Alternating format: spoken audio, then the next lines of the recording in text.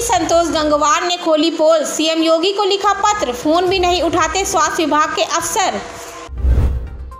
अयोध्या में राम मंदिर की नींव की दूसरी लेयर बिछी। मजदूर नहीं तो मशीन से दिन रात करेंगे काम। बदायूं में भाजपा सांसद संगमित्रा मौर्य की फेसबुक आईडी हैक की गई। आपत्तिजनक टिप्पणी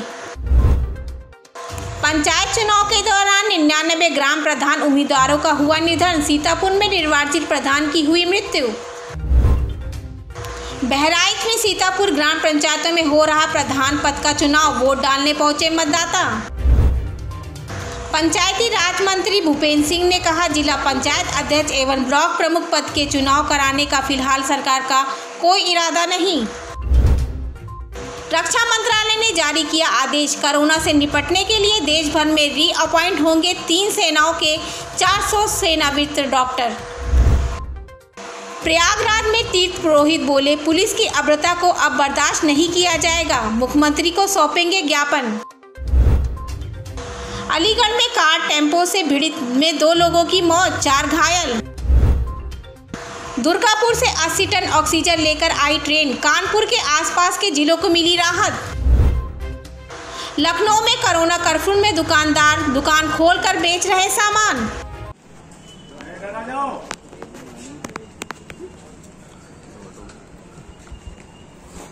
बाहर आ जाइए। नहीं निकल नहीं निकल नहीं बाहर निकलिए बाहर बाहर आके निकलनी चाहिए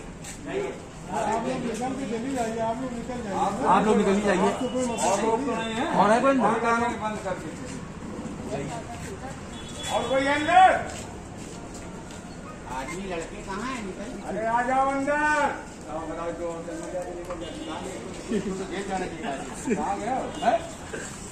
और हम लोग कहते हो कि रमज़ान में रोजा हमको गुनाह नहीं करना इससे बड़ा गुनाह है कोई?